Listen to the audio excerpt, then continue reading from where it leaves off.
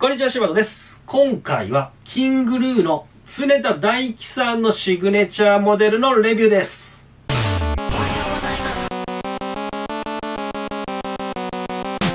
これはですね、フェンダーから2021年限定で発売された常田大樹さんのモデルになります。これね、非常に珍しい形をしているんですけれども、もともとフェンダーのスインガーというモデルがベースになっておりまして、形状がね、非常に独特。ヘッドも、こんな感じです。まあ、系譜的にはムスタングが先祖に当たるような感じらしいんですけれども、もともとこのスインガーというタイプも、フェンダーのベース5というですね、5弦ベース、しかもね、15フレットの5弦ベースという、非常に珍しい形のものが原型になっていると。そのベース5がですね、なんかあんまりね、売れなかったみたいなんですよ。まあ、5弦のね、15フレットというね、まあちょっと珍しい、挑戦的な仕様だったんですけれども、まあそれが売れ残って、スインガーというギターが作られたというような説がございます。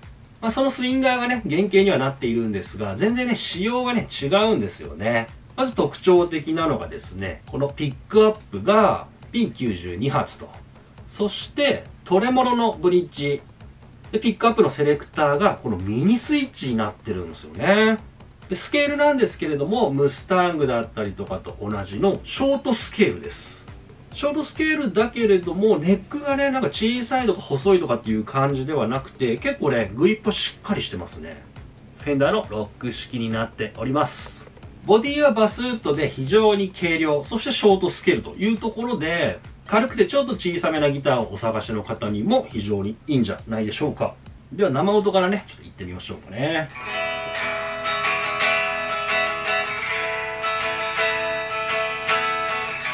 割と張りがある感じですね。ではリアから。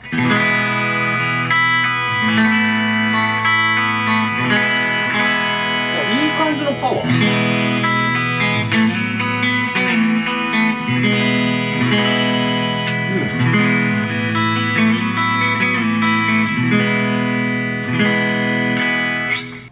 なんかミックスがいいですね。う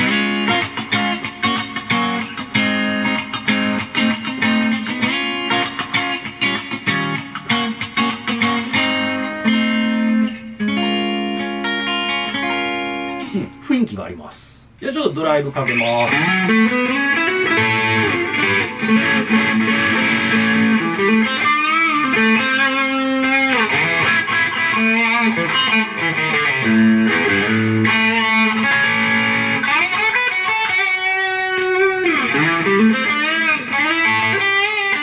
ちょ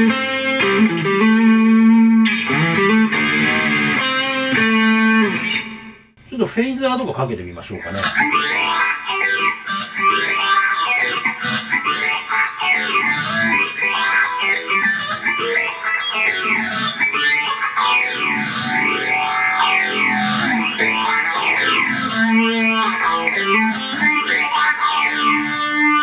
結構ね、奇抜な音をね、鳴らす人ですよね。程よくね、パワーがあるところがいいですね。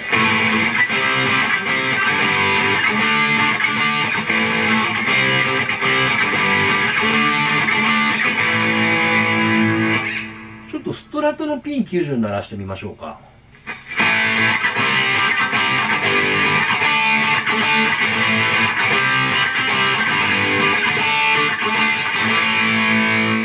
な感じになりました。いかがでしたでしょうか。まあ、ボディも軽くてね、ちっちゃいんですけれども、結構ね、パワーはあるというところで、歪ませたサウンドもね、いい感じになるんじゃないかなというところでございます。P90 独特のシャープ感もね、しっかりと残っているので、割とね、幅広いジャンルでね、使えそうな感じですね。